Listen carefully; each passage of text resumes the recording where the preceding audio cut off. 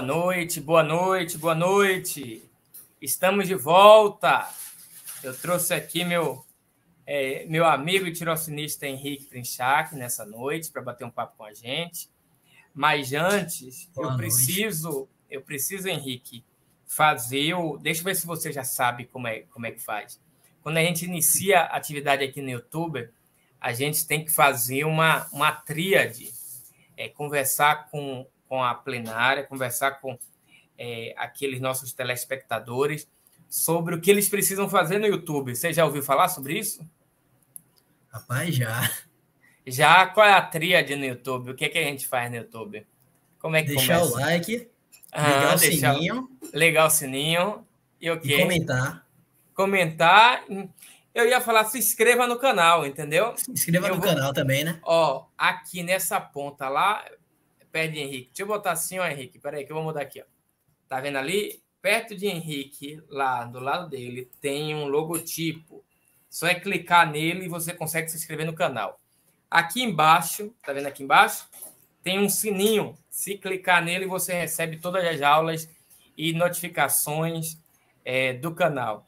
E se você gostar, dá seu like aqui embaixo também, aonde você pode fazer seu comentário, explicar e debater com a gente um pouquinho é, como é que foi a aula de hoje, tá bom? Henrique, outra coisa também que eu queria falar contigo é nesse semestre a gente retorna a mais uma aula aqui pelo YouTube, né? Eu não tinha feito isso ainda. Sim. A gente fez durante a pandemia, mas fora da pandemia a gente não tinha feito.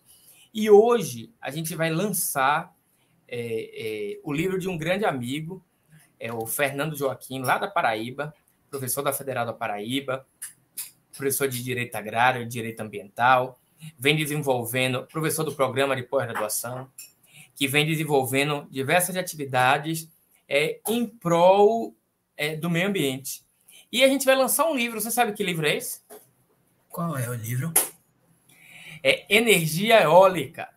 A gente vai falar um pouquinho sobre os. É, a gente vai falar um pouquinho sobre é, energia limpa. Aí a gente interrogou, né? Energia limpa é, as novas fontes de energia, dentre elas a de energia eólica. Mas, para começar, eu queria saudar nossos alunos aqui das turmas de Direito Ambiental, dizer que esse lançamento está sendo feito em conjunto com o Programa de Pós-Graduação da Universidade Federal da Bahia, com o Programa de Pós-Graduação da Universidade Católica do Salvador, e minhas turmas de ambiental. E eu queria aqui fazer uma saudação a Mael. Daqui a pouco o Henrique vai colocando na tela todo mundo, viu? Não se preocupe. Ó, Maele, Ayane, Ricardo, é, Jennifer, Luciano, Cleiton, Rafael, Márcia, Roger, é, Anne, Marina, Sunshine, Anne, Rayane, Tayana, Neuvanete, Roger, Rafael, Rayane. Tem, tem muita gente aí hoje, viu, viu Henrique? Mas vamos, vamos convidar o nosso é, palestrante de hoje, nosso convidado, o professor Fernando Joaquim, por favor. Deixa eu trazer ele aqui para a tela. Professor Fernando, tudo bem? Como é que você está? Seja bem-vindo. É, boa noite é, a todos e a todas. Né? Obrigado pelo espaço, professor Taguri. É, a gente já tinha conversado sobre esse assunto há algum certo tempo. Né? Como o professor Taguri falou, eu sou é, professor do programa de pós-graduação em Ciência Jurídica da UFPB. Sou professor do curso de Direito. Minha, minha área de atuação basicamente é Direito Agrário e Direito Ambiental, com interface com Direito Econômico e Direitos Reais. E é, nós, eu pesquiso basicamente o problema hoje das energias renováveis, com foco nos estados da Paraíba e de Pernambuco. Então, esse é o motivo de estar aqui. Né? Eu vou dividir minha intervenção em duas etapas. Uma, eu vou falar um pouco do que eu estou trabalhando né? e da metodologia, que eu acho muito importante, como o trabalho tem sido feito. Né? Então, claro, os deixa detalhes. Eu, deixa, eu, gente... deixa eu lhe fazer uma pergunta, Fernando. É, você vai fazer, vai dividir seu trabalho em dois pontos. Mas fala para mim, da onde é que surgiu é, a ideia de escrever um livro sobre energia eólica? Para a gente começar. Ah, é, veja só, a ideia surgiu da, da, da, da nossa, das nossas caminhadas nas estradas da Paraíba e de Pernambuco. Surgiu há muito tempo atrás, em 2009. Nós andávamos muito pela Paraíba e, pelas estradas de Pernambuco para desenvolver nossas atividades normais de, né, de, de lecionar né, antes de entrar nas federais. E nos deparávamos muito com tralhas no meio do caminho. E é, isso nos despertou a atenção. Então, na verdade, o, o que nos despertou é, no contato com a energia eólica foi um problema muito simples, assim, muito do acaso, né? de você chegar cedo, de buscar é, cumprir os horários, a gente nos deparávamos com tralhas no meio do caminho. E isso nos despertou interesse em saber o que estava correndo. Então, quando a gente se depara com um projeto de pesquisa, muitas vezes ele se dá a partir do acaso. E foi assim do acaso que surgiu. Então, é, quando nós nos deparamos com isso, o que aconteceu? A gente parava nas estradas e começávamos a questionar, a perguntar, e descobrimos que eram, na verdade, é, pais de torres de energia eólica, pais de torres de aerogeradores. Então, a princípio, o que, que nós fizemos? Nós começamos a nos interessar, porque nós sabíamos que havia duas questões que é, despertavam interesse de pesquisa, apesar de, inicialmente, não é, era uma coisa mais trivial era o fato de, primeiro, que todo impacto das evoluções tecnológicas nas forças produtivas do capitalismo, ele sempre leva ao aumento da taxa de exploração da força de trabalho. Isso era uma pista. A segunda pista era que boa parte desses investimentos, ou quase todos eles, era a partir do capital estrangeiro de investimento, de grandes empresas estrangeiras. E, historicamente, o subdesenvolvimento dos países latino-americanos ele se dá a partir do controle tecnológico do capital estrangeiro de investimento nas forças produtivas. Então, nós tínhamos dois elementos que nos despertávamos a investigar o problema é, da energia eólica. Então, peraí que eu vou, eu vou, eu daqui a pouco vou lhe dar, vou deixar você sozinho na tela, viu, professor Fernando? Para você falar um pouquinho sobre seu livro, sobre sua pesquisa. Mas eu tenho várias dúvidas aqui. Eu e Henrique, a gente estava discutindo sobre seu livro. E a outra dúvida que a gente tinha aqui é: então o Nordeste, eh, a gente escolheu o Nordeste para implementar os grandes, as grandes áreas de energia eólica, eh, eólica por sua é, é, tradição, por sua, pelo seu potencial ou porque existe um outro elemento aí que você traz no seu livro que deve ser considerado? o livro ele traz vários elementos. Agora, claro, é, a instalação dos parques, né, ele se dá em função do, do amadurecimento tecnológico da sociedade, ou seja, é, para que essas torres elas funcionem, elas gerem eletricidade que possa ser comercializada em grande potencial, é necessário que elas sejam estejam localizadas em áreas com ventos com pelo menos 7 metros por segundo. Então, o Nordeste e o Sul do país são as áreas que esses ventos eles têm essa velocidade. Então, nós vamos encontrar isso onde? É, no Nordeste, nas regiões de serra. Né? Pernambuco, no Planalto do Mamborema, parte da Paraíba também, e no litoral é, do Rio Grande do Norte, é, é Ceará e Sergipe. É, nós temos também áreas também na Bahia. Então, claro que o Nordeste e o Sul do país ele apresenta condições né, geográficas capazes de é, que esses geradores transformem a, o vento em energia elétrica numa mercadoria capaz de ser transacionada, negociada no mercado. Então, claro que é, o, a escolha do Nordeste se dá particularmente por, por essas características. Então, já que você trouxe todos esses elementos, Henrique, vamos deixar professor, vamos deixar o professor Fernando na tela sozinho e daqui a pouco a gente retorna para fazer algumas perguntas para ele, tá bom? Sou Fernando, Beleza. eu acho que 15 minutos, 20 minutos, o que é que você acha? Perfeito, perfeito. Perfeito? Eu vou deixar você sozinho para você falar um pouquinho dos dois pontos que você quer tratar a gente está aqui perto de você. Qualquer coisa pode falar com a gente que a gente volta para a tela.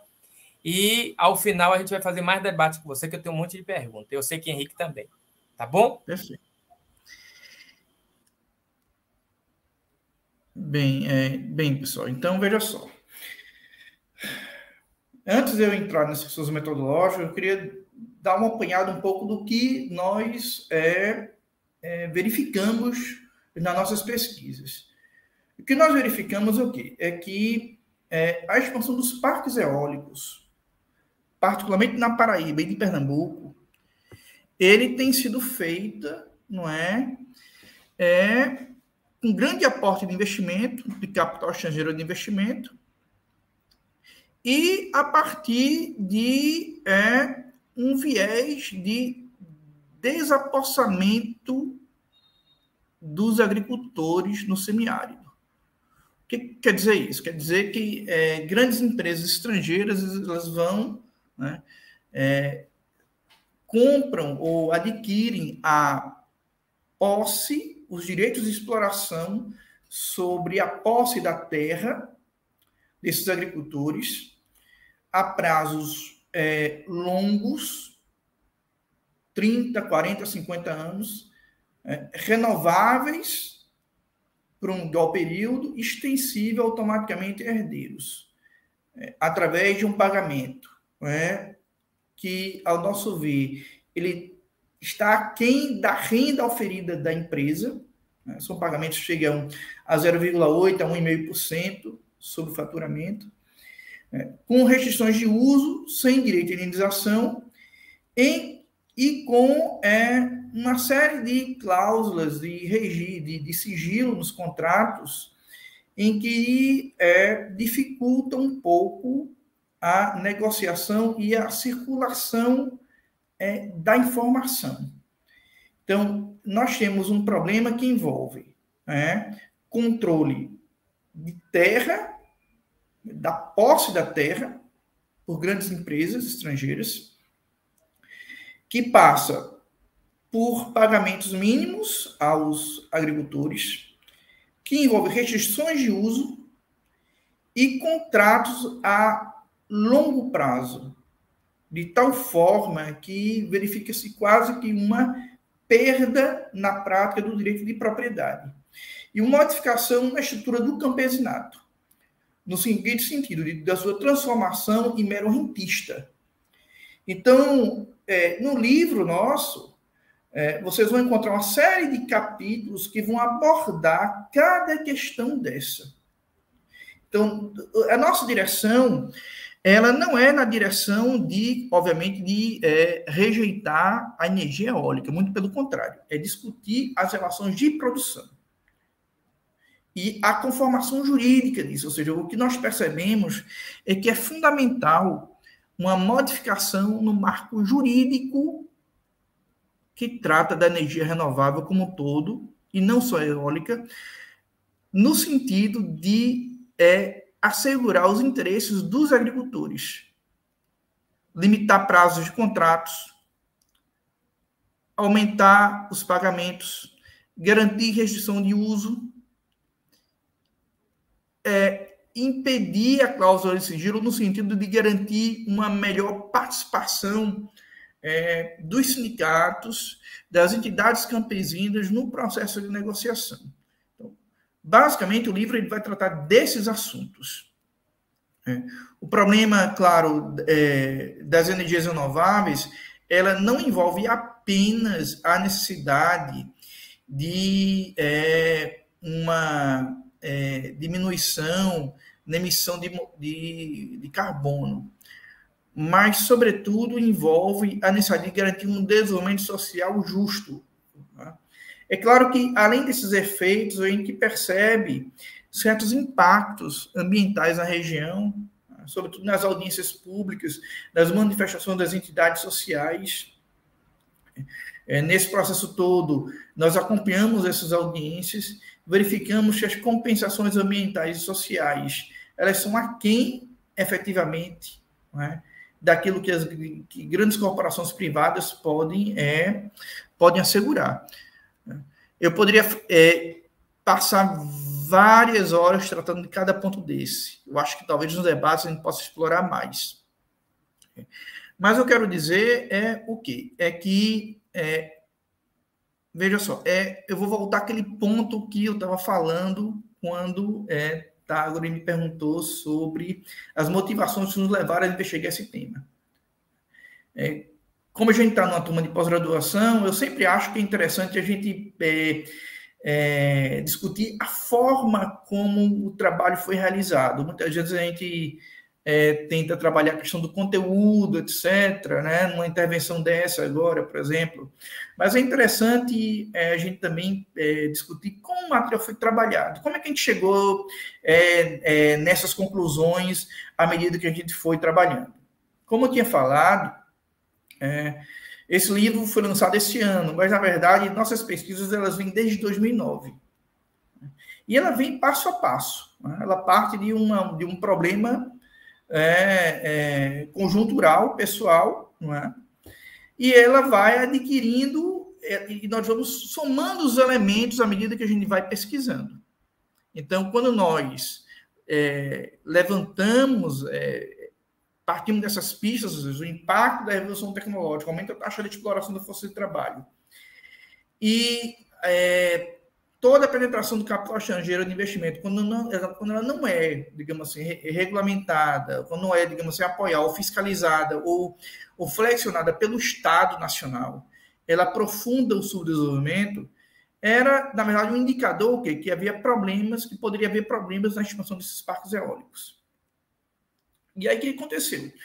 Nós é, resolvemos é, começar a levantar dados como vocês levantam, certo? Quando vocês estão estudando. Abrimos programas de computador, começamos a circular informação é, e a catalogar.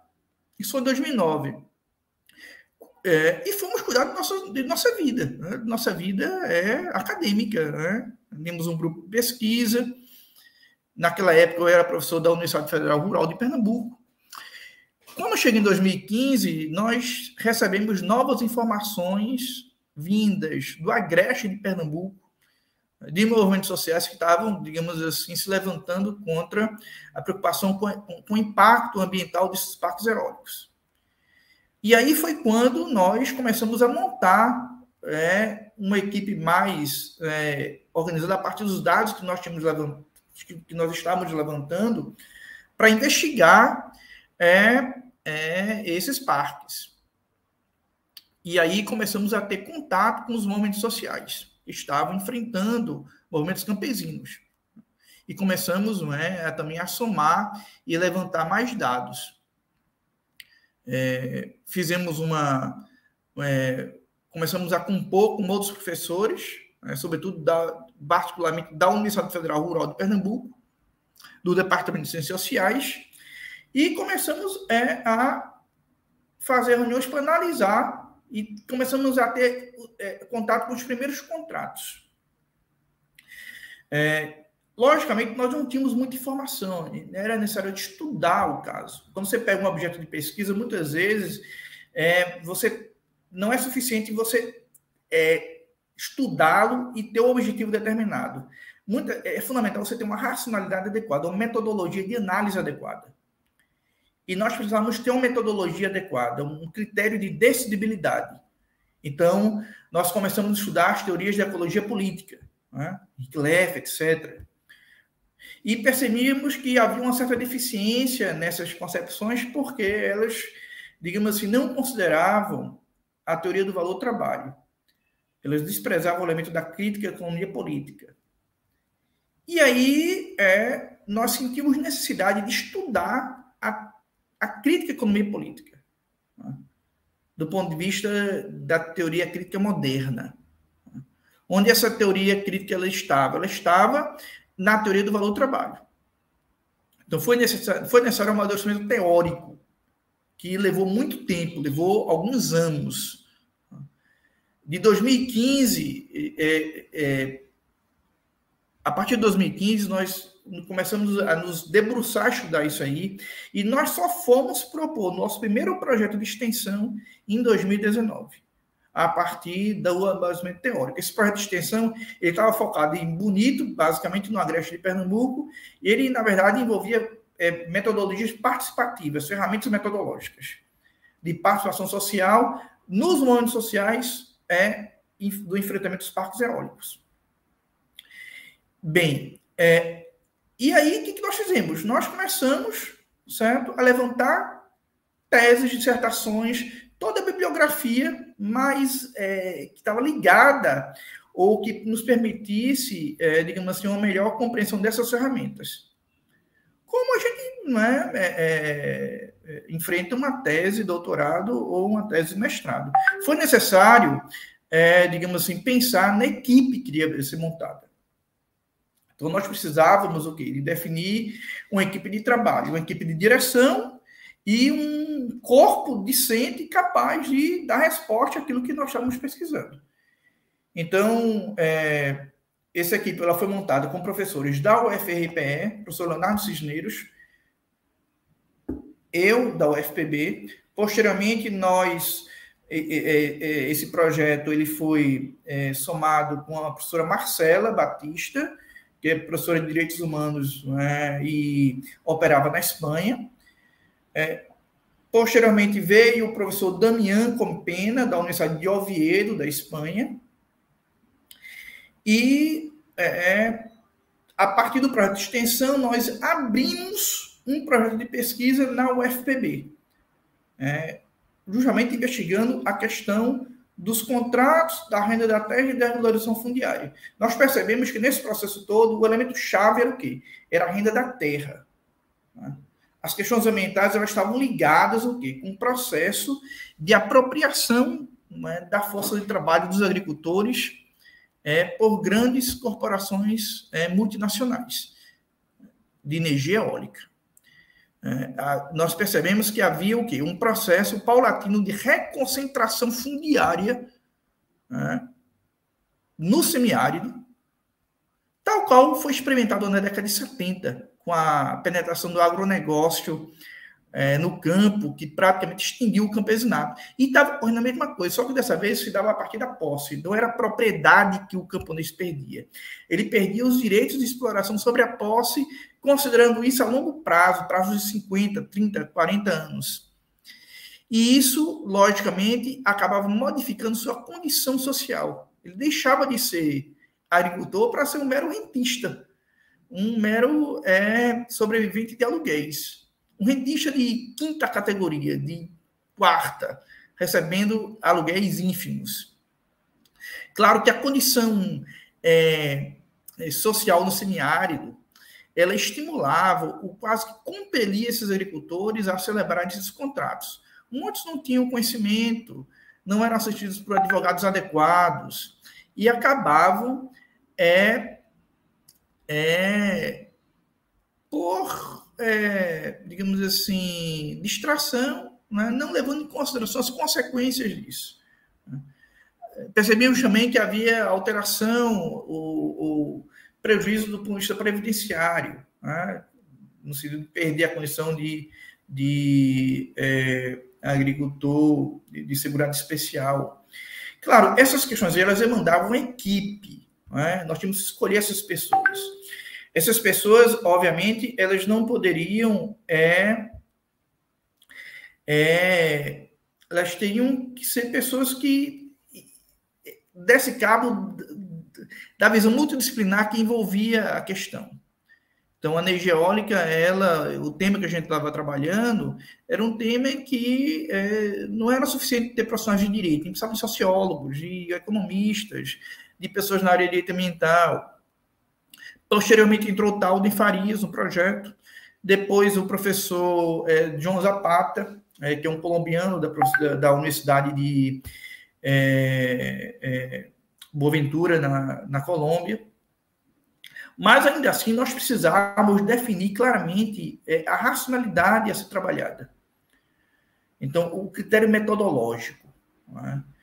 quem vai nos, quem vai nos permitir isso, quem vai nos fornecer esse, esse, essa análise que a gente pudesse compreender, na verdade, de forma profunda, o problema da expansão eólica era o quê? Foram as teses da professora Mariana Traude, que trabalhava na perspectiva é, de Marx e de David Harvey a questão do, desapossamento ou da acumulação de capital por despossessão. Então, com isso, é, nossa tarefa inicial estava preenchida. Nós tínhamos né, um objetivo a ser segurado, tínhamos as pistas para fazer nossa pesquisa, tínhamos é, é, o tema a ser trabalhado, tínhamos o material humano, ou seja, o, o material de direção, né, os professores e um projeto de pesquisa. E é, começamos a recrutar os alunos. Como é que foi esse recrutamento? Esse recrutamento ele foi através da análise de currículo. Nós não, não tínhamos condições de exigir uma prova, um conhecimento específico, um tema novo. Então, como é que a gente é, selecionou os alunos? Através do, do currículo, é, da disponibilidade de tempo e da capacidade de trabalho. E assim nós montamos um grupo de pesquisa com alunos de graduação, tanto do Departamento de Sociais como do Departamento da, é, de Direito, com alunos de pós-graduação do nosso programa de pós-graduação em Ciência Jurídica, mestrado e doutorado, né? e com é, é, os professores. Como é que foi é, o sistema de trabalho? Nós precisávamos é, nos assenhorear do conhecimento teórico, não só das questões mais da dogmática jurídica, que envolve a legislação, etc., etc., que envolve os parques mas também do domínio não é, é da crítica à economia política. Implicava o quê? Saber bem a questão do valor, do valor de uso, do valor de troca, do mais-valor, da força de trabalho, da financiarização do capital fictício, ou seja, das categorias metodológicas que nos possibilitasse analisar isso. Por que tudo isso? Eu estou falando porque o processo de expansão é, dos pactos eólicos se dá dentro de um contexto de financiarização do capitalismo. Se dá num contexto é, de expansão dos fluxos de capital dentro do processo de desregulamentação é, das barreiras que levam à circulação do, do, do capital e da interação do capital produtivo com o capital financeiro. É, vocês sabem muito bem o que, por exemplo, que na, no bojo desses parques eólicos a gente percebeu o quê? Que havia grandes fundos de investimento cujo objetivo, na verdade, era compensar créditos de carbono.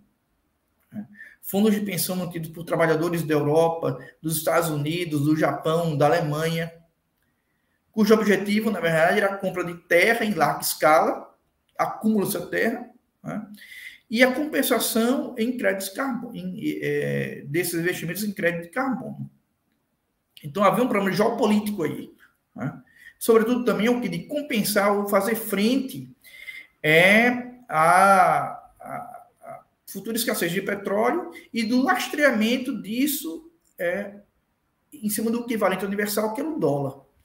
Então havia é, nesse processo também o que um rearranjo né, da forma de manifestação do capitalismo global, a partir o quê?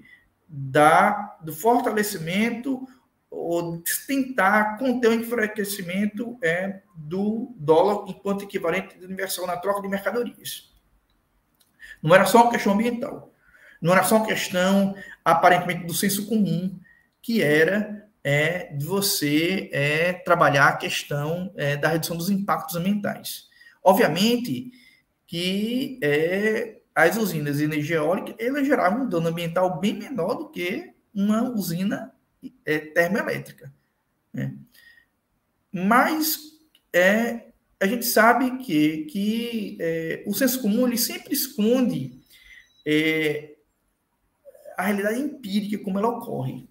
E o que, na verdade, ocorria também em cima disso aí era o quê? Era uma, não era só uma questão de de troca de matriz. Era um problema é, de reconfiguração é, da disputa entre as grandes potências pelos, pelo controle dos fluxos de energia. Então, veja. Então, nós precisávamos é, nos assenhorear. Onde é que a gente entende isso? Através dessas categorias. Que categorias eram essas? É, categoria, como eu falei você, é, é, é era, era preciso entender o quê? Como é que dá o processo de valorização da mercadoria. Né? Como é que isso chegava como um valor de uso, era transformado como um valor de trocas, como se isso gerava mais valor e era é, convertido é, num, sobre esse mais valor, a partir é, da exploração da força trabalho. Como é que isso se realizava na prática? A gente percebia o quê? Que o, a peça fundamental nisso eram os contratos. Então havia um forte viés jurídico que não era muito, era negligenciado, inclusive, inclusive na, nas análises que nós víamos, que era a questão dos contratos. Os contratos eram a peça central nesse processo. As empresas elas não iriam jamais conseguir é, se apropriar da terra, pagar menos, impor uma restrição de uso ao agricultor, reduzir o número rentista, sem que isso não fosse materializado no instrumento jurídico contratual. A gente percebeu o quê? Que o, nesse processo todo, o, o, se utilizava muito o Estatuto da Terra. É, mas não apercebeu o contrário. O Estatuto da Terra, ele, historicamente, vocês sabem, ele foi feito para proteger o arrendatário. Mas as empresas, elas figuravam como arrendatárias. Elas não figuravam mais como arrendadoras. Né? No semiárido, no, no, interior da Paraíba e de Pernambuco, o, a realidade nós temos o quê? São pequenos agricultores arrendando suas terras para grandes corporações privadas internacionais. E isso é acabava o quê? É, só que só que o chato da terra ele foi feito para proteger é, é na, na, na, sua configuração original o arrendatário é, considerando ele como um camponês mais fraco, só que dessa vez era o contrário. Isso estava se havia um desvirtuamento, não é, da função do Estatuto da Terra nessa perspectiva. O que acabava o quê? Levando a captura da renda da terra, não é, totalmente por grandes empresas à custa de pequenos agricultores. A situação de pouco subsídio à agricultura, é, que, que, nós experienciamos nos últimos anos favorecia, estimulava ou até compelia os agricultores a assinar esses contratos. Muito, nós, nós assistimos muitos depoimentos que, que os agricultores exigiam, exigiam justamente isso. Olha, eu consigo, o que eu gasto para produzir um boi, certo? É maior, não, é melhor eu é, assinar um contrato com e, e montar um gerador mesmo, certo? Sabendo que é, eu poderia receber muito mais. Mas é melhor isso do que o gasto que eu vou ter para é, é, engordar uma roupa de boi. É, tal era a situação. Então, não nos parecia muito justo jogar isso nas costas dos agricultores. Né? É, pessoas que têm filhos para sustentar, que trabalham dia e noite, que sofrem condições pesadas na produção. Não são grandes produtores, não são grandes, não é, não é o agronegócio ali. Então, não era razoável nós é, acharmos que os agricultores não, poder, não deveriam assinar. Seria muito simples a gente chegar e dizer, ó, não assine os contratos. Como é que, certo, alguém que não vivencia essa, essa realidade poder dizer isso? Mas nós precisávamos analisar isso para fornecer elementos para os movimentos sociais. Né? Então, veja, como é que é, nós procedemos? Nós precisávamos dominar essas categorias, e foi assim que nós fizemos. Nós dividimos o projeto em quatro meses, ou melhor, em um ano, dividido em é, quatro períodos de três meses. Um período nós iríamos dominar bastante, tentar nos assenhorear do, da, é, do manancial teórico. Nesse período, nós convidamos especialistas, fizemos é, várias reuniões com pessoas é, que tinham conhecimentos especializados na área, porque nós não tínhamos, e nós precisávamos é, conhecer bem essas categorias. Nós chamamos de é, economistas, sociólogos, é, pessoas de movimentos sociais, é, pessoas na área de biologia, para é, a gente poder entender né, o processo como se dava. Engenheiros, bastante dialogamos muito com as áreas de engenharias. E ao final desse período, os alunos eles eram compelidos o quê? Eram estimulados a entregar é, projetos de artigo, projetos de pesquisa. Né? Título, um índice e uma página contendo um resumo onde ele iria né, dizer basicamente aquilo que ele iria pesquisar sobre a temática que nós estávamos estudando. E aí o que? Nós fazemos um novo ciclo de reuniões a partir desses pré-projetos, de, desses projetos de artigo. E a tarefa era o quê? Transformar esses projetos de artigo em resumos expandidos ao final de três meses. Ao final desses três meses, na entrega dos resumos expandidos, nós é, realizamos eventos, nós realizamos um seminário internacional sobre financiarização e energia eólica. Convidamos especialistas da Espanha, do México, e também colocamos nossos alunos e nossos, nossos pesquisadores para apresentar seus trabalhos, suas conclusões parciais. A partir desse seminário, nós iniciamos um novo bloco de reuniões em que a tarefa era o quê? Era transformar os resumos expandidos em artigos é, completos. E aí, é, nós fizemos um novo ciclo de reuniões. Então, isso é, consumiu um ano. Claro que não foi um ano, porque nós tivemos um projeto que vinha desde 2019, com projeto de extensão. Então, nós acumulamos, na verdade, uma certa gordura. E é, incorporamos outros pesquisadores, a professora Mariana Traude, é? É, cuja tese, o livro dela foi fundamental e a leitura obrigatória para quem quer entender é, a energia eólica. É? Claro, eu estou fazendo propaganda aqui do meu livro, mas assim, o nosso livro ele é, foi um desdobramento é, das pesquisas da Mariana, né, a partir da, da racionalidade que ela oferecia. Ou seja, a crítica à economia política partir das teses do Marx e do David Harvey, que para nós foi fundamental para entender o processo. Claro, nós estudamos bastante as questões mais jurídicas que envolvia de legislação, etc. Mas é, essas categorias transdisciplinares elas foram decisivas. Então veja, é, nesse processo todo nós tínhamos que fazer reuniões semanais por quê? Porque por mais que o aluno ele tenha, ele seja um aluno excepcional, ele consiga estudar sozinho, ele tem um tempo no mundo, mas assim, é, o amadurecimento ele se dá a partir da outra idade. Ele se dá de maneira, ele se dá com o outro. Nós não conseguimos amadurecer estudando sozinhos. Por mais que você seja um aluno excepcional. Então, as reuniões eram necessárias para isso, para garantir uma socialização e permitir um amadurecimento coletivo. Não era suficiente ter reuniões quinzenais, mensais. O aluno que falta a reunião é, semanal é o que vai faltar a reunião mensal. É a experiência que a gente, que a gente viveu. Inclusive, do, naquele processo lá atrás, de 2009 para 2015, que nós começamos a testar várias coisas. Então, nossas reuniões, necessariamente, elas foram semanais. Né? E eram reuniões que tinham que envolver o pessoal da Espanha e do México.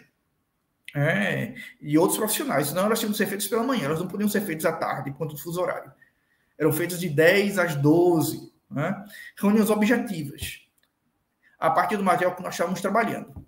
Dentro daquele processo todo. Reuniões a partir de, de conteúdos gerais, depois reuniões a partir dos projetos de artigo, depois reuniões a partir é, dos resumos da, da, no, no, processo de transformação dos resumos é, expandidos em arquivos completos. Então esse processo ele foi seguido rigorosamente. Nós não tivemos períodos onde nós não tivemos um ou outro, né, né, não sei as férias, que nós não tínhamos reuniões semanais. E essas reuniões eram online, elas não eram presenciais. Né? Claro que nesse processo todo foi necessário o quê? Ter o conhecimento empírico. Então, é, a partir da, é, da, da, produção dos resumos expandidos, nós, senti, nós tínhamos, nós, nós, é, nós colocamos, nós tínhamos previsões o que de é, fazer trabalhos de campo. Então, nós fizemos várias visitas aos parques eólicos. Fizemos isso durante eh, o período de, 2000, eh, de 2021, 2020. É, participando de, participamos de audiências públicas, levamos os alunos a verificar os parques. E não foi um processo simples, porque, assim, visitar os parques é, implica o quê? Implica a gente ter toda uma logística. Os parques são lugares perigosos porque envolve torres, tudo. Não podia levar os alunos sem isso antes verificar as condições de segurança. Então a gente teve que fazer, uma, tivemos que fazer uma série de visitas sozinhos para verificar as condições de segurança e só a partir da verificação disso é que nós iríamos, iríamos levando os alunos. levamos em grupos pequenos. Né? Conseguimos é, financiamento no edital, é, que nos possibilitasse, que possibilitava a gente passagem, né? e é, fizemos é, umas 10 visitas de campo. Visitas é, sozinho com nossa equipe e visitas também com os movimentos sociais, a partir é, das audiências que eram realizadas. Basicamente, essas visitas elas se concentraram em Bonito e no eixo São José do Sabugi, junto do Seridó e, é, é, e Santa Luzia, certo? Era na Paraíba. Bonito, em Pernambuco, é, uma área, Belo, é, Bom Jardim, Belo Jardim ali, no Agreste, e também é, é nesse triângulo da Paraíba, além do é, de, é, de Cuité e Picuí. Lá na Paraíba tinha, uma, tinha um parque já instalado é, no litoral, mas esse nós não deixamos para depois.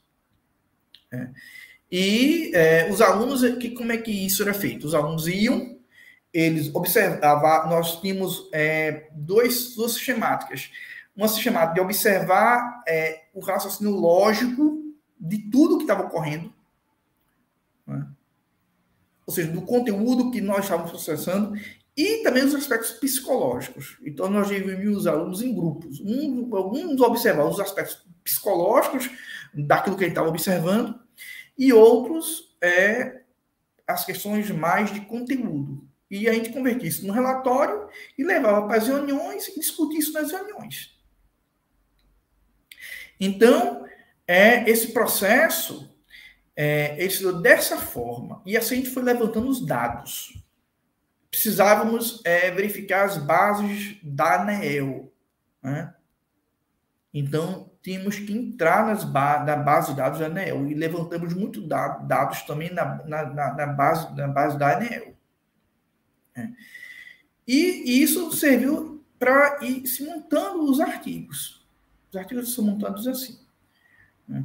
Claro, nós precisávamos é, ter uma unidade muito grande em relação aos professores do grupo de pesquisa. Era necessário uma unidade sobre as categorias metodológicas. Para os alunos que estavam em formação, isso era bem era mais flexível do ponto de vista, digamos assim, da, da compreensão, certo? Mas como nós éramos orientadores, nós precisávamos ter o, digamos, o domínio e a unidade entre nós sobre isso. Então não poderia haver, digamos assim, racionalidades diferentes que não passassem por essas categorias que eu falei para vocês ainda há pouco: capital fictício, renda da terra, financiarização, mercantilização da propriedade, não é? valor de troca, valor de uso. Isso precisava ser bem, é, bem traçado. Porque um grupo de pesquisa é isso. Um grupo de pesquisa não é você ter um tema que você estuda e ter um objetivo. É, é necessário, fundamentalmente, você ter a racionalidade. E aí o livro foi produzido. Né? Claro, isso demorou a revisão desses processos, e é, isso foi um processo que, que envolveu revisão, então teve que revisar esse material. Né? Todos os artigos foram acompanhados, foram, foram orientados. Nós tivemos que fazer umas quatro, cinco revisões a escolha de editora, não é? Ela seguiu critérios de divulgação. Não foi uma tarefa muito simples.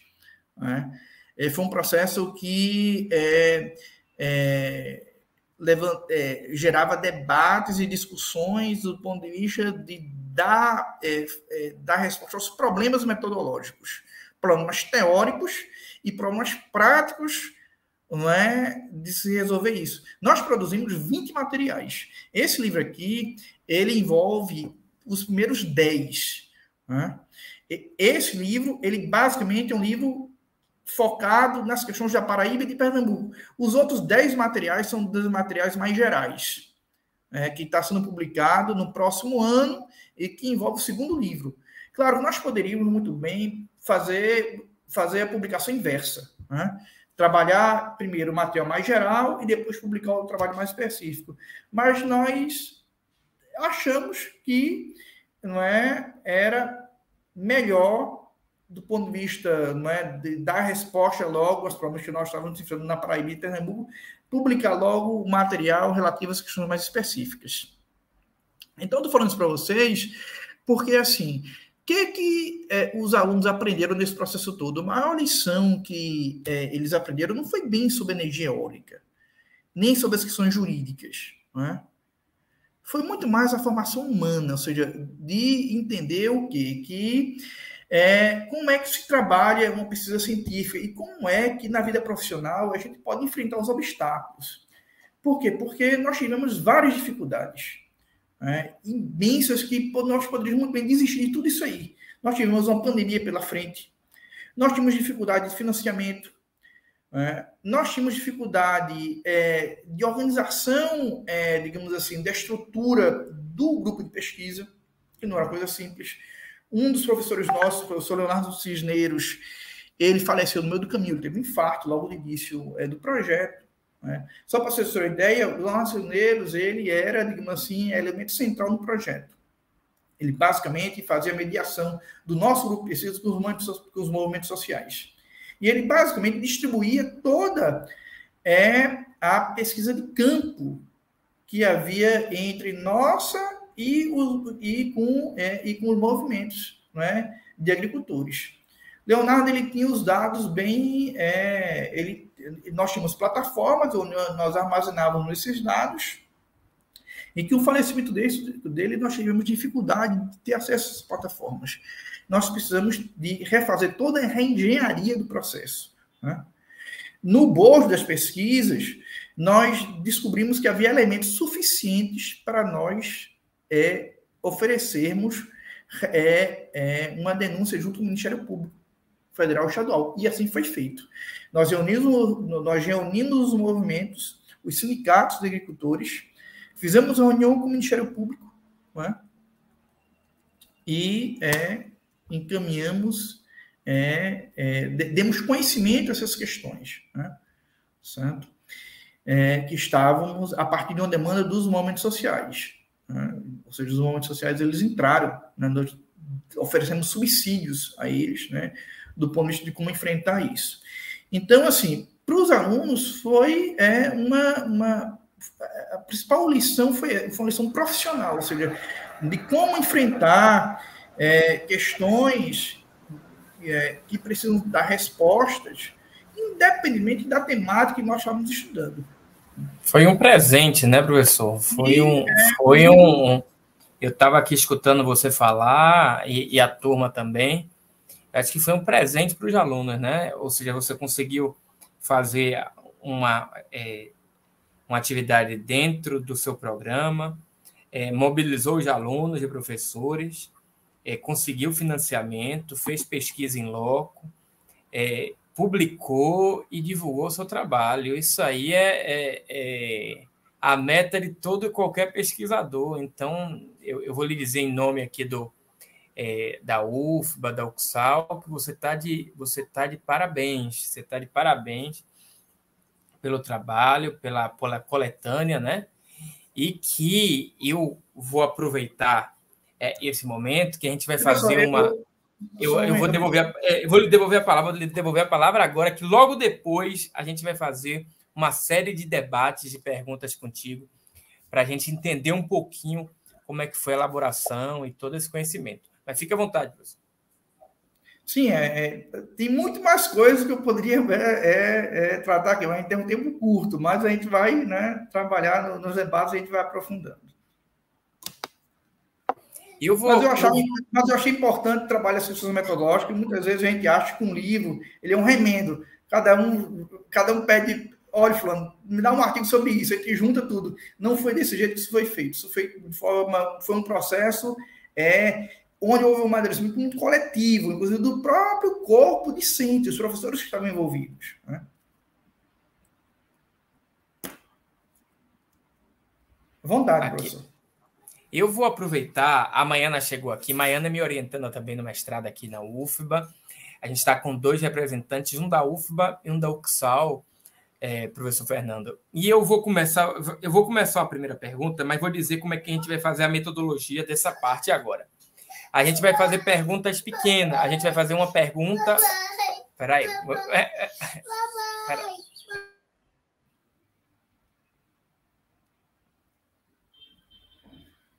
Eu peguei meu filho pequeno agora aqui.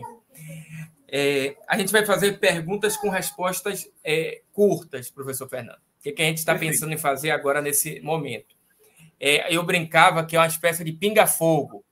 A gente faz perguntas e tenta responder elas com um minuto, dois minutos de resposta, no máximo. E a primeira é como é que você reuniu é, tantos temas na área do direito ambiental e do direito agrário? Por exemplo, contratos, renda da terra, regularização fundiária, é, energia eólica. Como é que a gente pode, em, em, em poucas palavras, você explicou para a gente é, nesse momento, mas como é que a gente pode entender isso e compreender se esse.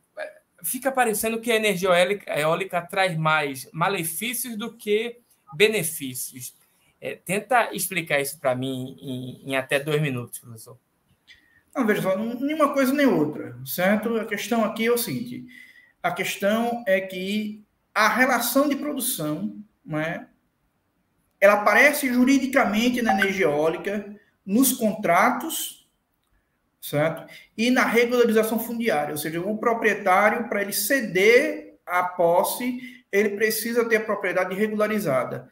Logicamente, isso dá, é, isso vai ser, isso, é, é, é o contrato, ele, digamos assim, ele vai necessitar disso, né, para ser celebrado.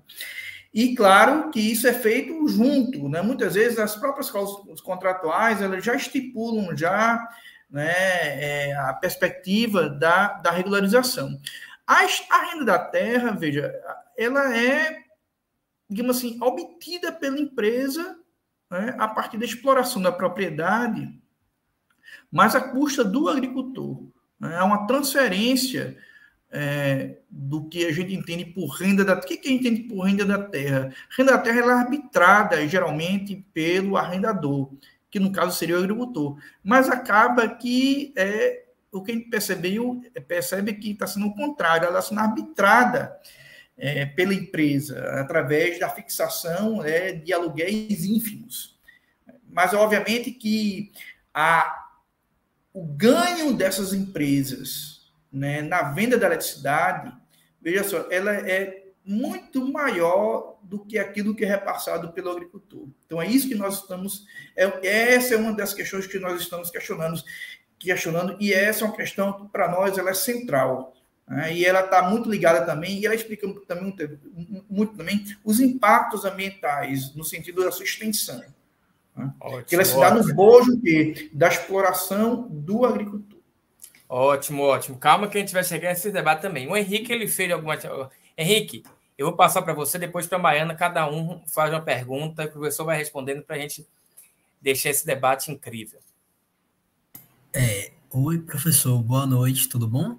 É, eu queria fazer umas perguntas aqui para o senhor, e eu anotei primeiro uma aqui, é que, assim, de que forma que seria possível se estabelecer uma regulação do setor dos parques eólicos principalmente no Nordeste, considerando os modos de viver e de fazer da população nordestina, buscando o equilíbrio negocial?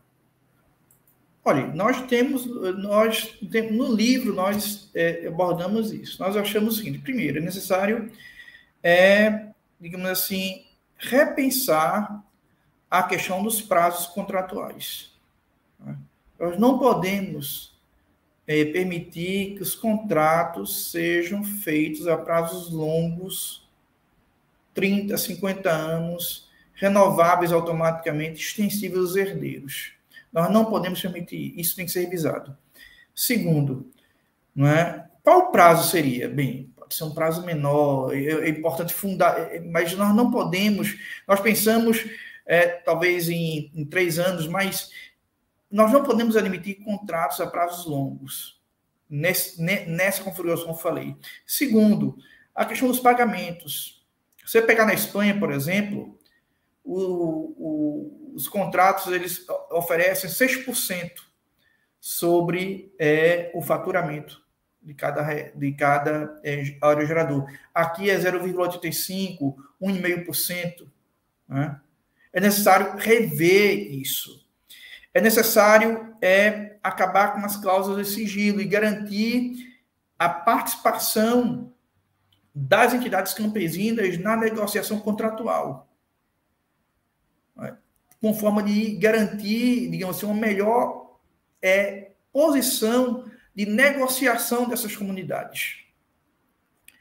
Também é garantir indenização pela restrição de uso.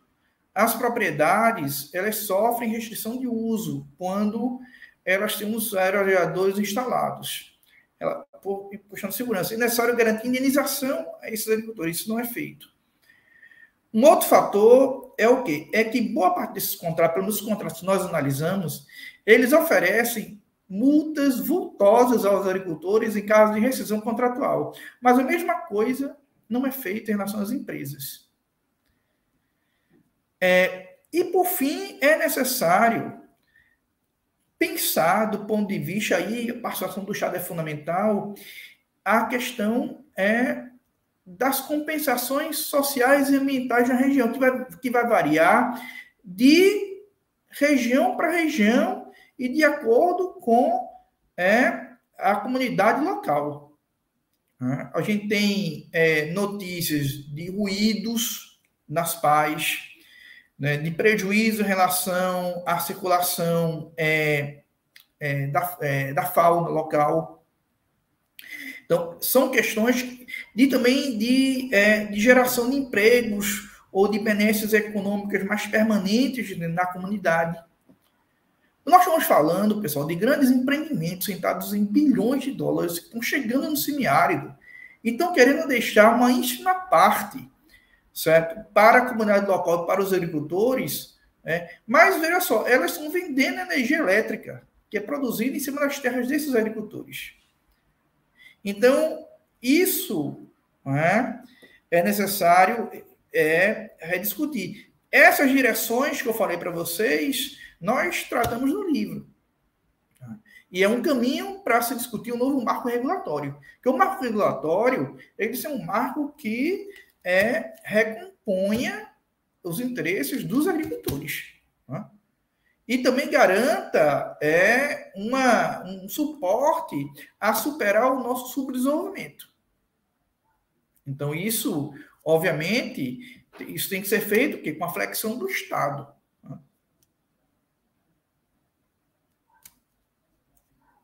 Eu vou agradecer Obrigado, e vou passar para a Baiana. Obrigado.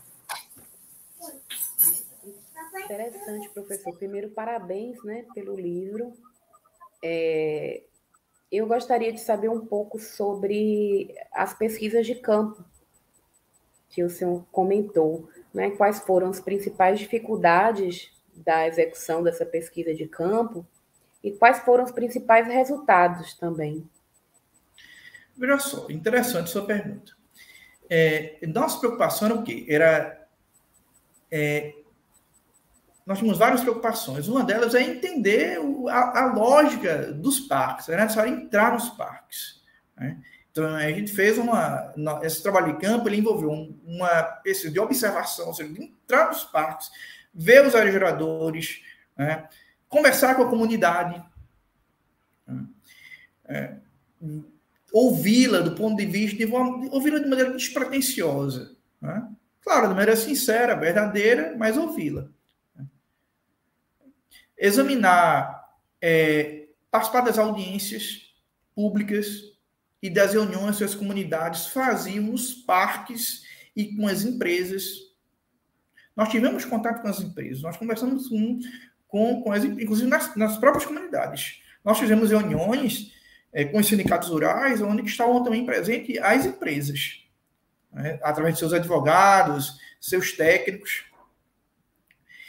Então, isso foi dividido, ao, isso foi dividido paulatinamente ao longo é, de dois anos, ou seja, nós fizemos uma visita é, em janeiro de 2020, é, do, fizemos uma visita em 2020, depois uma, é, e, uma série de, de, oito visitas, ou nove, nove visitas é, durante o ano de 2021.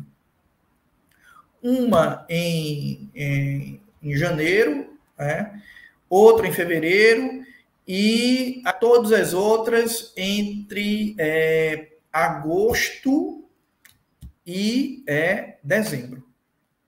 Porque era necessário base, balizar as pesquisas de campo com o, a, a, maturidade teórica dos alunos né? e também um avanço dos trabalhos, ou seja, era necessário ter essa, essa harmonia, porque não adiantava a gente fazer pesquisa de campo se os alunos não, não, não tinham dominado as categorias teóricas, ou nem tinham iniciado as pesquisas, porque isso não é, não, isso, isso ia gerar, isso não ia levar resultado nenhum. Então era necessário a gente, não é, é à medida que eles fossem amadurecendo, também e também tendo contato com experiência prática.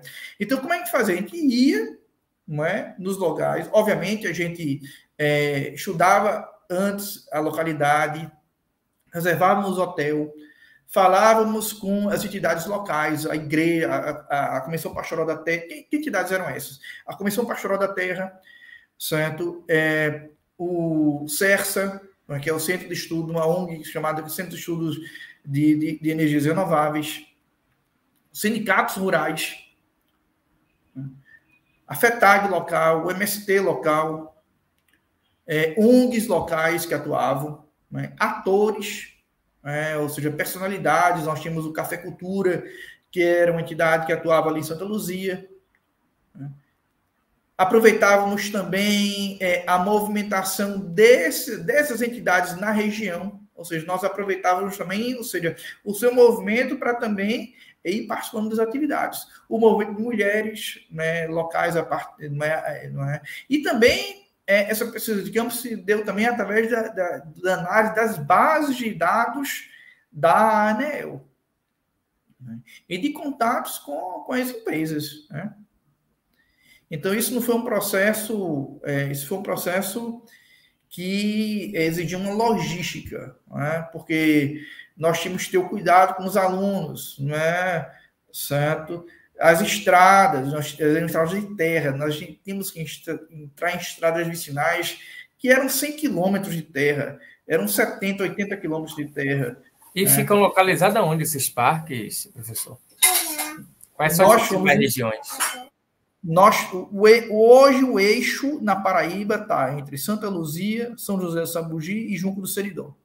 Então, esses três nós fomos. Fomos também é, em Picuí, em Cuité. Fomos em regiões que os parques não estavam instalados, mas as empresas já estavam indo lá, instalando torres anemométricas para medir os ventos, certo? E, é, e, e ver o processo de negociação deles com os agricultores.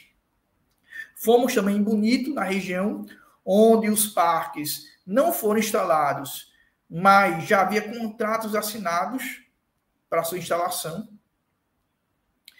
E também é na, na região do Agreste de Pernambuco, perto de Garanhuns, né, em que essa região estava. E nesse processo todo, é, nós é, começamos a colher também elementos relativos, digamos assim, ao impacto local. Né?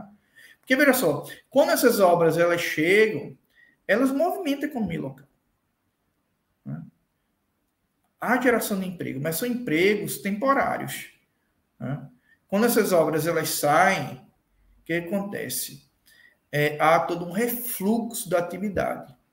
É isso que nos chamou a atenção. Ou seja, é, é, não havia preocupação em garantir compensações sociais ambientais mais permanentes. Porque, na verdade, a energia gerada ali era o quê? Ela era exportada para o sul do país. Perfeito? Então, nos interessou também aspectos tributários que envolvia a questão, né? porque a tributação era recolhida lá, não era recolhida aqui. Então, bem, o que estava ocorrendo, na verdade? Era nessa. Então, tudo isso é nos levou. É que não entrou na, na discussão se o parque era bom ou se era ruim. A gente estava, na verdade, interessado em analisar a relação social que estava envolvida né? e o impacto dela. Porque, veja só, é, é, é como eu falei você, é, é, a energia é limpa, o problema é que a relação é suja. Né? A relação social, a relação de produção que envolve o agricultor, a empresa, a relação que envolve a empresa e a comunidade. Essa relação social, ela é que é suja. Não é que a energia seja suja. A energia, obviamente, é limpa. É lógico que ninguém vai, nem é louco para achar que a energia eólica não é limpa Então, quem está quem tá questionando aqui é aquela, que a relação social é uma relação de exploração e de aprofundamento do nosso subdesenvolvimento. Né? Isso é Apesar... é diferente. No, você falou do, da Espanha, isso é diferente em países desenvolvidos? Há um outro tipo Na de relação? Espanha, nós encontramos situações semelhantes aqui, embora em menor grau. O que acontece é que na Galiza, por exemplo, nós temos um movimento mais organizado que consegue obter mais vantagens na negociação. Porque todo o problema passa o quê? Que nós podemos garantir uma melhora na posição do campesinato se nós fortalecermos seu poder de negociação e se nós fortalecermos também a capacidade do Estado de intervir, de flexionar. Né? Porque o Estado, nas condições de um país subdesenvolvido, ele é o sustentáculo das forças produtivas. Não é que ele vai acabar com a iniciativa privada, muito pelo contrário, ela é bem-vinda. Mas no sentido de flexioná-la, a oferecer um processo menos desigual, é? menos injusto, é? menos voltado para o lucro e que, que haja mais compensações sociais para a comunidade. Então, e isso implica o quê? Nós precisamos fornecer informação é, aos movimentos sociais, né, à sociedade. Então, nosso projeto, o que, que aconteceu? Com a, o encerramento do livro, nós nos voltamos agora ao quê? À produção de uma base de dados que forneça uma, uma compreensão maior como esses contratos são organizados, que permita essa comunidade, as comunidades sociais, as comunidades de base, que elas possam se subsidiar disso. Porque o papel da universidade é esse. O papel da universidade é fornecer conhecimento à sociedade. Tá? Não é bem claro. O processo de luta social, de luta ali, é um processo que dos camponeses, é, dos agricultores. A universidade ela é chamada para oferecer, é, digamos assim, um conhecimento que permita aos atores sociais é, resolverem suas contendas. Então essa é a nossa, é, foi a nossa preocupação. Eu acho que Henrique tem outra pergunta, né, Henrique? Oi, oi, eu tenho outra pergunta. É... Fernando, é, professor Fernando, eu tenho uma pergunta aqui que eu tinha notado, que é o seguinte, em relação ao Acordo de Paris, que implementou a questão da, da energia eólica, aí eu queria perguntar dessa questão do, dos efeitos né, do Acordo de Paris e da transição energética, né, que é imposta pelo capitalismo, e também é, no Brasil, quais são os efeitos, né, e também quais seriam os problemas né, estruturais que, que o senhor acha e seriam mais evidentes né, para poder implementar esses parques eólicos de uma maneira mais ou menos equilibrada, justa. A pergunta foi é, um pouquinho eu, grande, mas.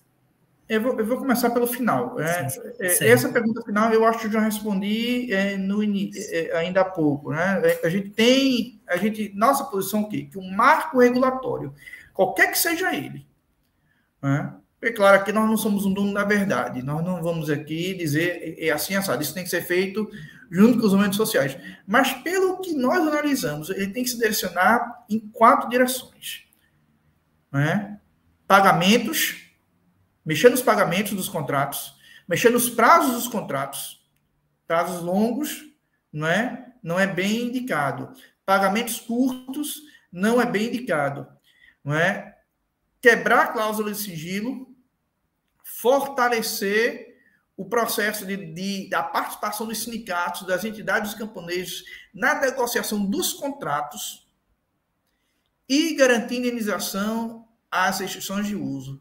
É, claro, pode haver outras coisas que envolvem esse marco regulatório, mas ela tem que passar por esses elementos para que que o processo, para que o processo de expansão dos parques eólicos possa é, ser um processo menos desigual, né, menos injusto. Nós estamos tratando aqui da relação. Né? Sobre o Acordo de Paris, veja só, nós temos uma posição mais crítica sobre o Acordo de Paris. É, bem, veja só, o, sobre o, o, o, grande problema da questão ambiental é, global é o problema da distribuição do ônus ambiental. É, quem vai arcar com o ônus ambiental? Né? O problema do, da, das mudanças climáticas, do aquecimento global, ele passa por isso. Ele passa o quê? É necessário alterar as relações de apropriação é, de riqueza a nível global, que se dão em detrimento da periferia em prol dos países industrializados. Quando nós falamos na distribuição desses acordos ambientais, é, muitas vezes se fala, não é, se toca muito na questão do controle é, dos recursos naturais na periferia do capitalismo e se fala muito pouco é, no controle da industrialização é, dos países ricos. Na verdade, os grandes poluentes do mundo hoje estão não é, na União Europeia é, e nos Estados Unidos. E se fala muito pouco é, no controle é, do processo de industrialização dessas regiões, e, sobretudo, também na distribuição é, da capacidade industrial para a periferia. Nós temos uma forte dependência econômica é, dos países pobres é, do Sul, a partir da ação do capital estrangeiro de investimento em nosso país e do controle de tecnologias sensíveis que nos impede e, nos, e, e, dificulta o nosso desenvolvimento. Isso tem que estar na agenda ambiental, tem que ser central.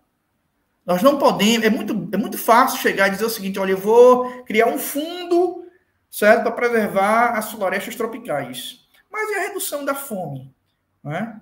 dos males sociais, não é? da exploração da nossa força de trabalho, é? do controle da remessa de lucro das grandes corporações transnacionais que vêm para cá, transformam matéria-prima e trabalho em capital, certo? Exploram nossa força de trabalho e remetem essa riqueza que deveria ser investida aqui para fora, certo? Permitindo que os países ricos acumulem uma grande quantidade de capital que promova o seu desenvolvimento e amenize suas contradições sociais. Essa é a questão. Perfeito, professor. Perfeito, então, assim, perfeito. Assim, Eu entro. Então, assim, o nosso país, é, ele tem que assumir os compromissos que deve que assumiu, mas os países ricos eles não estão assumindo, eles estão querendo transferir certo? O ônus ambiental nas nossas costas, né? mantendo nosso fosso né, de região subdesenvolvida. Isso não é razoável, né? não é, é justo.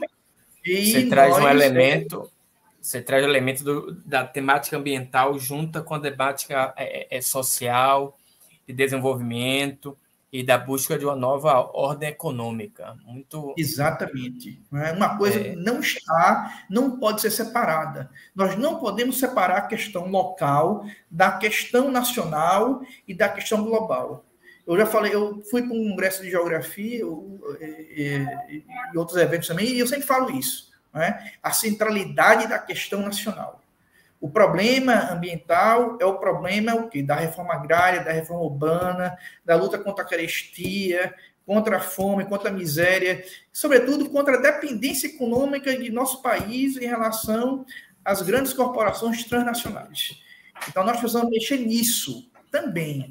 Não adianta a gente receber caridade dos países ricos a troca de quê? Deles eles continuarem é, poluindo lá, porque é isso que eles estão propondo. Eles estão propondo o quê? Nós vamos refrear nosso desenvolvimento aqui, né? fazer uma reserva de recursos para eles, para eles continuarem poluindo lá. Claro que nós temos que preservar é, a região aqui, e nesses últimos anos ela foi pouco preservada. Nós tivemos casos claros aqui de um, de um avanço do desmatamento. Mas o necessário também é discutir isso em questões maduras, de forma adulta, não de forma, não é, certo, de senso comum, como uma criança não é, está pensando quando, quando dá, dá, os primeiros passos. Ninguém aqui é criança. Né? Nós, nós somos adultos, temos que discutir as questões ambientais do ponto de vista do nosso desenvolvimento, de superar o fosso de nosso subdesenvolvimento. E os países ricos, eles não têm cumprido sua parte. E eu trouxe aqui, professor Fernando, é, um, um questionamento de nossos alunos. Ele fala assim, o Elson, ele, ele diz assim, antes de passar para a Maiana, viu, Maiana? Daqui a pouco vai se organizando aí, que eu já te chamo. É, boa noite, professor, parabéns, obrigado por compartilhar o conhecimento, parabéns pelo trabalho. Quais os principais fatores que fazem o óbvio ao crescimento da utilização desse tipo de energia, então? Você falou de, do, dessas questões sociais, mas isso cria um óbice também para o crescimento dessa utilização da energia eólica no Brasil. É, isso também é, cria um entrave para o avanço é, do desenvolvimento de novas tecnologias, professor Fernando? Veja só, duas questões aqui, né? que eu acho que tem que tratar de maneira separada. O avanço das forças produtivas, ela, é, digamos assim, ela, ela convive com relações de exploração. Então, é, é claro que é, o avanço, por exemplo, na década de 70 do agronegócio né, foi evidente. Então, o que nós estamos questionando aqui é o quê? É que é necessário que esse avanço ele se dê de maneira justa, equilibrada, assegurando os interesses dos agricultores e garantindo e flexionando para o nosso desenvolvimento. A questão é, do que o professor falou, do que o, da pergunta que falou sobre, é, o professor falou sobre a questão da tecnologia, veja só. Os, a instalação dos parques, é óbvio que ela, ela traz desenvolvimento tecnológico. Mas esse tecnológico, ele não ele, ele, ele é uma, é uma quimera. Por quê? Porque, na verdade, quem é que controla essa tecnologia? São grandes empresas estrangeiras. Não é nosso país que controla. Né? O, a tecnologia, né? e eu falo isso no sentido mais amplo, isso quer dizer o quê? Quer dizer, vamos supor que no futuro nós temos alguma divergência é, com, mais séria com algum país desse que não é que essas empresas elas são sejam matriz e a gente sofre alguma sanção que é, nos prive é, do acesso a essa tecnologia. Estão entendendo qual é o problema disso?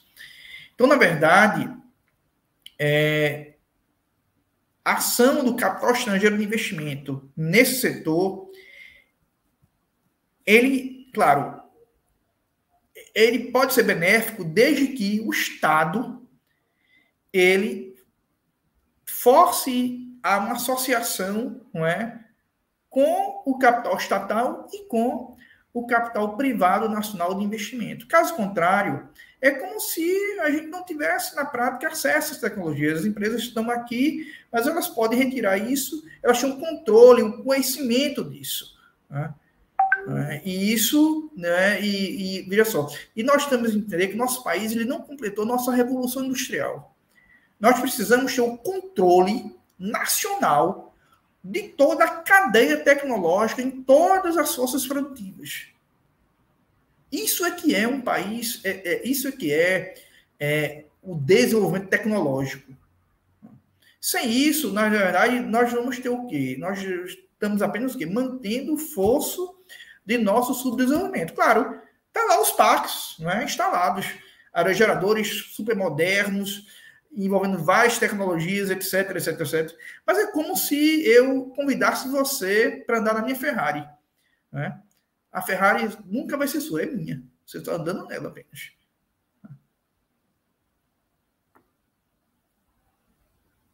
Eu vou convidar a Maiana aqui. Maiana, vamos para uma última pergunta, antes da gente passar para o professor Fernando, para suas considerações finais.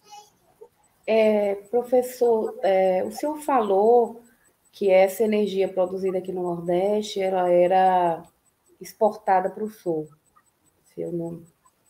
É, existe algum por parte né, do Nordeste, seja por parte do Estado ou por parte da iniciativa privada, não existe nenhum, hoje não existe nenhum tipo de interesse, nenhum tipo de investimento feito aqui, já que né, existe essa, essa potencialidade da, da região não, veja só, é, existem iniciativas, mas assim, é, ainda são aquém daquilo que não é, é nós precisamos. Essas, é, veja só, essas torres, esses parques, eles não são nada sem as linhas de transmissão. Então, eu falei aqui nos contratos, nos contratos de arrendamento. Mas nós temos os contratos de, é, de servidão, que envolvem as linhas de transmissão. né, que vão levar essa energia a, a, a, a, né, a regiões longínquas. É claro que há iniciativas aqui, mas veja só, é, o, que, o que a gente percebe é que o marco regulatório atual ele está muito dentro do campo do direito privado.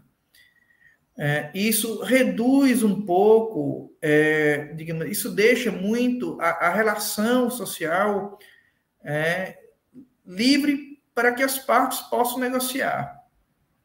Necessário ampliar a esfera do direito público sobre isso, né?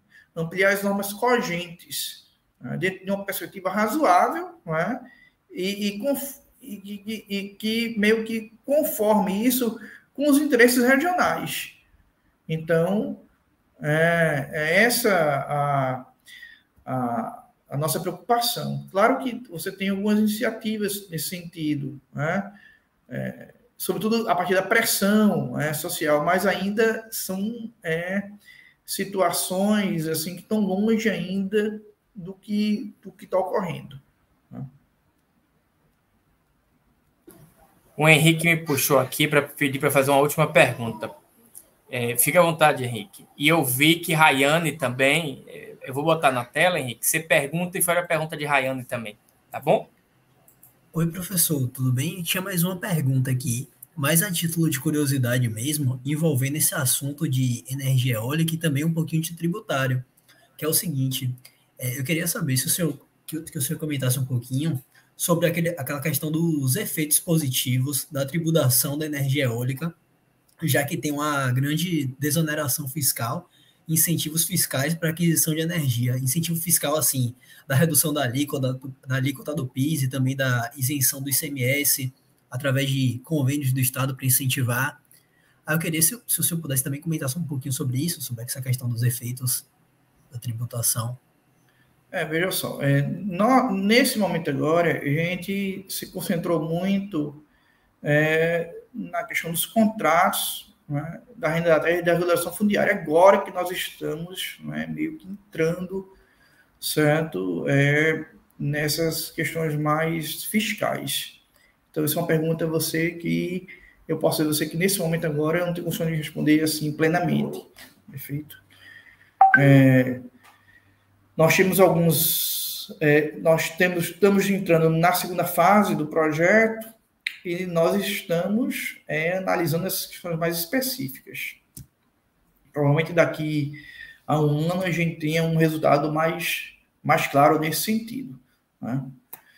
É, sobre a questão é, de como a Bahia passou a ser protagonista das energias renováveis, é, nós nossas pesquisas, é, elas mesmo que se concentraram, certo? É, na realidade empírica que a gente estava vivenciando. Pernambuco, Paraíba. Claro que é, a gente teve contato com a realidade do Rio Grande do Norte, do Ceará e da Bahia. Né? E a Bahia e a região da, da Bahia, hoje, os estados do Nordeste, de modo geral, Bahia, é, Rio Grande do Norte, Ceará, eles estão, né, são estados que estão na crista da linha do desenvolvimento. E, há, e nós temos né, um movimento social bem ativo na Bahia, através dos advogados né, de, de trabalhadores rurais, que nós, inclusive, trouxemos no grupo de pesquisa é, advogados baianos para tratar da realidade da Bahia, é muito parecida com aquilo que nós estávamos é, vivenciando é, em é, em Pernambuco e na Paraíba. O Nordeste, certo? É, no Nordeste, Pernambuco e Paraíba, eles, digamos, eles estão ainda, digamos assim, chegando, né? É, no, na situação em que do potencial da Bahia, do Rio Grande do Norte, do Ceará. Mas nós temos uma grande é, um potencial de produção de eletricidade, o que é muito importante e é muito positivo isso. Né? Eu, eu vou agradecer. Se fosse. É como assim. Um... É, é, Fale, fique à vontade. É como eu falei você, o problema não é o problema não é, é digamos assim, a quantidade de energia que está sendo gerada. Né? É lógico que é muito bom que que o, que o Nordeste ele consiga gerar uma produção de eletricidade limpa. É, o problema é que a relação social ela também precisa ser limpa. Né? É como, é como, é, é como o que ocorreu na década de 70, fazendo um paralelo. É lógico que a penetração do agronegócio ela, ela gerou uma produtividade, mas, mas em que custo isso ocorreu? Então é necessário, certo, é, modificar as relações que estão envolvidas nisso. Então, nós não estamos preocupados muito em é, questionar o óbvio, né? É, que seria o que? O fato da, da, digamos assim, da, da grande experiência para nós de nós termos grandes parques de energia renovável produzindo uma energia elétrica que não demanda é, petróleo, é? que deve ser incentivada, mas é necessário é, ver. É, é, veja, veja só, é como eu falei nisso. Qual, o que, que motivou a gente a ficar desconfiado quando havia várias torres ali e o pessoal dizia que era bom ter aquelas pás circulando tudo. Era que a gente sabia muito bem que toda toda penetração, toda revolução tecnológica nas suas produtivas, na sua sociedade, ela se, se o Estado não intervém para minorar os efeitos colaterais, ela vai implicar o quê? Em aumento da taxa de exploração da força de trabalho. E a penetração do capital estrangeiro, historicamente na América Latina, ela sempre foi a causa do aprofundamento do nosso subdesenvolvimento, seja porque leva necessariamente à exportação da, do, do capital aqui oferido, seja porque implica controle da tecnologia por países estrangeiros que, obviamente, não, não é socialismo, digamos assim, a, a, a, o domínio certo da produção dessa tecnologia. Então, isso implicava o quê? Que aquilo ali havia efeitos colaterais ali que deviam ser explorados. E confirmou um pouco, em, muita medida, aquilo que a gente estava desconfiado. Né? Mas tem solução. Nós precisamos mudar o marco regulatório. Nós precisamos, nós podemos resolver tudo isso mantendo todo o potencial eólico e de energia solar.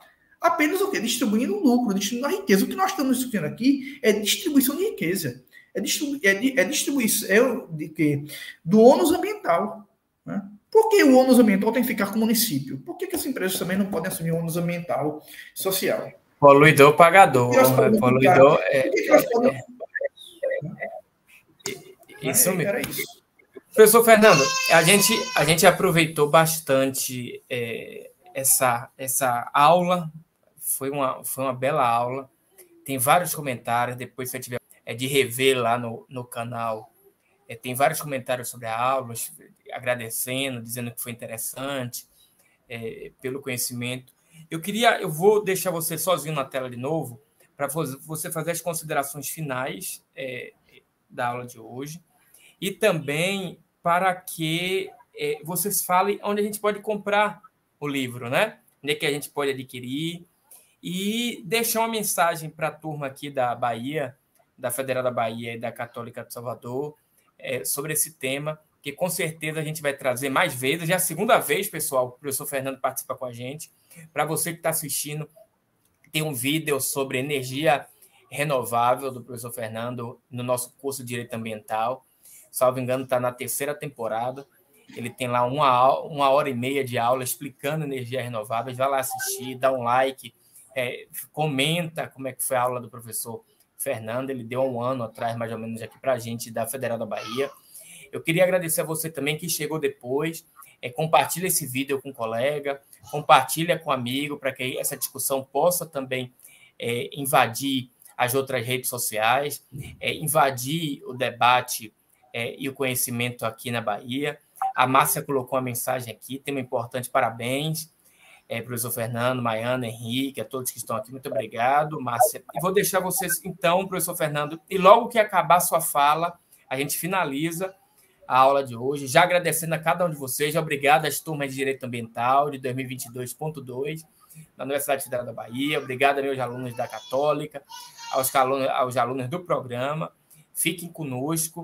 Não se esquece de apertar aqui, dar um like aqui embaixo, se inscrever e, acima de tudo, compartilhar com o colega. Para aquele que não pôde assistir ao vivo, vai ficar gravado aqui no canal. Tá bom? Um abraço, professor Fernando. Vou lhe deixar à vontade. Quando você acabar, a gente roda a vinheta, tá bom? Um abraço.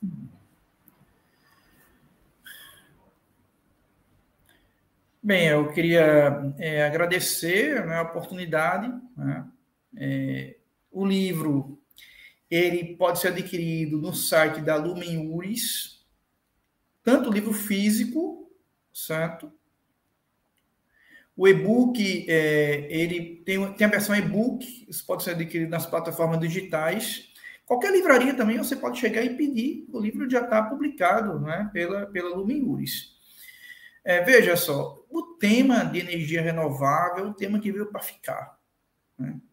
Vocês podem perceber isso. Então, é um tema perpendicular. Como vocês viram, as perguntas, né, ele envolve questões de direito ambiental, de direito tributário, de direito da criança e adolescente, de direito agrário, de direito civil, de direito econômico. Ele perpassa várias áreas do direito. Questão de direito constitucional, de direito administrativo. Então, é uma área que vale a pena se debruçar para estudar. Né? O livro ele trata sobre energia eólica, mas ele também é um livro sobre energia renovável. Então, é um assunto que vai estar, não é, em é, crista durante muito tempo, sobretudo com os avanços tecnológicos, com é, toda a discussão hoje que vocês estão vendo nos fóruns ambientais, como já falei aqui, nós temos a COP27, vamos ter vários outros documentos que vão tratar sobre é, a redução dos impactos ambientais. Então, queria convocar todos a se debruçarem sobre o assunto. Nós temos esse livro, né, que trata sobre contratos de renda da terra e regulação fundiária, que é energia eólica. Temos também o livro da professora Mariana Traude, que participa também do nosso projeto e que trata sobre acumulação por despossessão, que é publicado pela editora Apris, que eu acho que os dois devem, não é, é, é são leituras obrigatórias para quem quer entender esse tema. E eu queria desejar um, uma, uma boa semana a todos, né? e mais uma vez agradecer ao professor Tagore, não é, as universidades envolvidas, e era isso. Uma boa noite é, a todos e a todas.